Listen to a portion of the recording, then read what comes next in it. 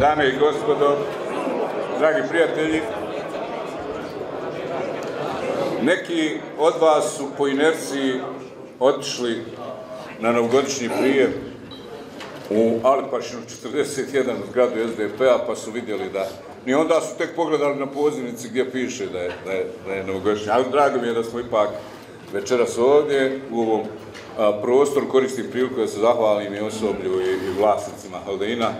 A, lijepo je nama Igore bilo, ali bi ovaj broj ljudi gore se bukvalno gušio, ovako puno, puno prozračnije, puno bolje i drago mi je da smo tu. Još jedan novogodišnji prijem, iza nas je još jedna turbulentna godina, još jedna godina izgubljena za građane Bosne i Hercegovine, u kojoj evo ni 14 mjeseci nakon izbora još uvijek nemamo konstituisanu vlast na svim nivoima. A što bi rekli po onoj staroj seriji o Džekni, a boga mi ne zna se ni kad će ova neka. I za nas je godina u kojoj su građani Bosne i Hercegovine više vjerovali sebi i svojim moćima nego lijepim pričama i obećanjima naših vlastodržaca i nastavili odlaziti iz ove zemlje glavom bez obzira. Nekako mi ova priča predsjedavajućeg vijeća ministara, entitetskih premijera, kako će sljedeće godine i svake sljedeće godine biti super, biti puno bolje, liči nam u priču o Deda Mrazu. Znate, kaže, krenula je proslava nove godine i u komšiluku postoje neki koji to obilježavaju na način da pucaju u zrak. Onda ode komšija kod njega i kaže, imam jednu molbu, možeš kada molim te na vrat, pa jedno dva, tri metke spaliti kod mene u dvorištu. Poslije nekog vremena ovaj stvarno dođe i dvorište ispuca tri metka i od, ovaj domaćin kaže, djece, joj, ubiše Deda Mraza, ove godine neće biti poklona. Izgleda da su kod nas ovdje ubili davno Deda Mraza i da svake godine očekujemo kako će sljedeće godine doći taj Deda Mraz i kako će nam biti bolje. Iza nas je godina u kojoj smo umjesto nacionalnog akcijnog plana dobili program reformi, pa se ubismo dokazujući ko je koga prevario, ko je koga izlevatio, imamo li zaista, idemo li u NATO, te ne idemo u NATO, u najmanju ruku kod da smo pred vratima i samo čekaju nas, nas da uvedu, a ne e, da smo svjetlosnu godinu daleko od toga kad ćemo biti i da li ćemo uopšte biti primljeni u NATO. Dakle, ovdje je problem u tome što za bilo kakav pomak nabolje nema nikakve šanse da to urade ljudi koji dok sjede u predsjedništvu razmišljaju kako će jedan prevariti drugu dvojicu ili kako će u nekoj kombinaciji dvojica prevariti ovog trećeg. Dok u vlasti sjede ljudi koji se samo dogovore oko toga ko će zauzeti koju poziciju u ministarstvu, koju fotelju, a sve ostalo je, se tretira kao izborni prijem. Međutim, ovo je novogodišnji prijem SDP-a i o njima ćemo se baviti samo koliko je to pristojno.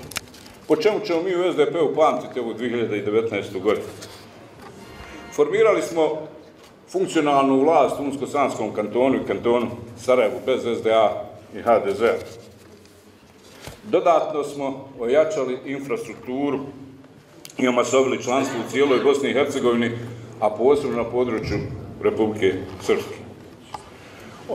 Obilježili smo 110 godina postojanja Socijaldemokratske partije Bosne i Hercegovine, održali sedmi redovni kongres sa rekordnim brojem delegata. Proveli smo demokratske unutarpartijske izbore i kadrovski osjeđili naše redove na mnogo rukovodećih funkcija širom Bosne i Hercegovine, te formirali nove partijske organizacije širom države. Rezultati naših ministara i zastupnika posebno su prepoznati od građana u Bosni i Hercegovini. Formalizirali smo priču oko bosansko-hercegovačkog bloka, uspostavili direktnu saradnju sa našom strankom i otvorili mogućnost svih građanskim orijentisanim strankama da nam se pridruže. Razbili smo famu da predizborna obećanja vrijede samo do izborne noći. Pokazali smo da nam je iznad svega važno obećanje koje smo dali svojim biračima. Zbog toga smo morali platiti određenu cijenu.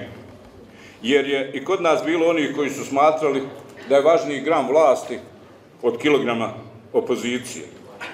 Čuvajući principe i držeći riječ, vratili smo povjerenje nezavisnih ljevičarske akademske zajednice u SDP i u našu partiju. Konačno smo uspjeli izdati prostorije da stvoriti pretpostavke da primijenimo mjere konsolidacije, reprogramiramo dug i platimo mnoge obaveze, te u novu 2020. godinu ulazimo rasterećeniji uz stvorene preduslove za jaku i kvalitetnu kampanju. Posebno smo ponosni na priliv novih članova, naročito na području Banja Luke i Lektaša.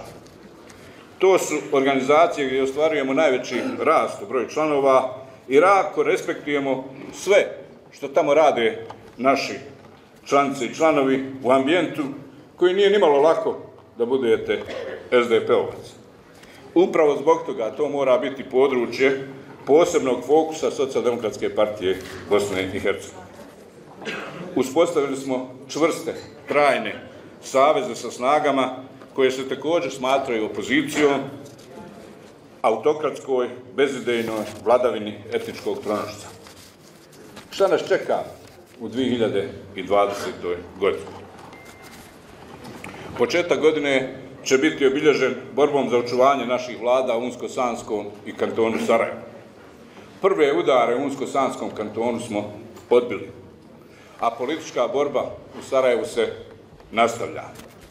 Što bi rekli, svi smo mi Valter i branit ćemo vladu u kantonu Sarajevo svim raspoloženim demokratskim sredstvima. Da se razumijemo, nijednog trenutka nećemo preći zakonske granice, niti koristiti bilo kakva nedopuštena sredstva, ali isto tako smo odlučni da nećemo dopustiti bilo kakvo silovanje procedura. Ukoliko i pored nesporne podrške građana radu vlade, ukoliko i pored nespornih rezultata ipak bude 18 onih koji žele smijeniti vladu formiranu na osnovu saglašenih 300 mjera u odnosu na jednu mjeru koalicije SDA, DF i SBB izrečenu u omjeru 60, 22, 18, neka bude. Tada će, nažalost, gubitnici biti građani kantona, nikako političke partije koji izađu iz vlade, a još će se jednom zorno pokazati kako je DF u stvari napustio BH blok samo zbog toga da se iz vlasti nigdje ne izostavi stranka demokratske akcije. Nama u svakom slučaju predstoji utakmica za odbranu gradonačelničkih i načelničkih pozicija u bosanskoj grupi, Gračanici, Gradačcu, Ključu, Maglaju, Tuzli i Živinicama.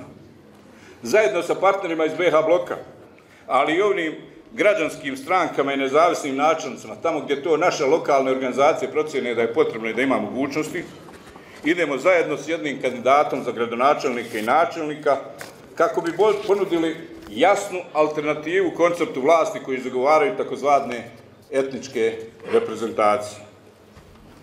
Ponosni smo na ono što rade naši gradonačelnici i načelnici, naši ministri, naši zastupnici. Siguran sam da ćemo zajedno s partnerima vratiti nadu građanima da je moguće baviti se politikom, a držati riječ i realizirati svoje obećanja.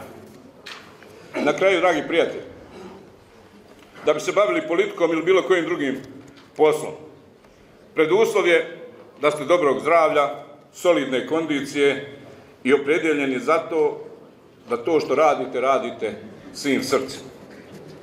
Ja sam 26. maja ponovo izabran za predsjednika SDP-a i koristim priliku da se još jednom zahvalim svim članicama i članovima Socijaldemokratske partije Bosne i Hercegovine koji su mi dali podršku, kao i onima koji nisu i trudim se da nijednog trenutka ne osjete razliku u mom ponašanju prema njima. Velika je to i čast i obaveza. Ali ovo je prilika i da kažem nešto lično. Najveću čast, poklon, najvažniju funkciju sam dobio 3. jula kad sam postao djed jednog predivnog dječaka Maka. Zato svima vama želim da u godini koja je pred nama budete zdravi i sretni, da oni koji niste, a u tim ste godinama, osjetite radost dobijanja unuka, a oni drugi mogu i praunuka, a oni drugi da postanu i osjete čar roditeljstva, te da svi zajedno učinimo sve što možemo, ali zaista sve što možemo, da toj djeci izgradimo državu u kojoj će se cijeniti prema svom znanju, prema svojim sposobnostima, a ne tome, prema tome kako se zovu ili kojoj stranci pripadaju. Neka vam je sretna 2020. godina. Želim nam svima zajedno da uspijemo u svojim namjerama kad su u pitanju političke okolnosti u Bosni i Hercegovini, a samo zajedno i samo ovako kako smo do sad pokazali, mislim da Bosna i Hercegovina ima šansu. Hvala vam lijepo. Živjeli.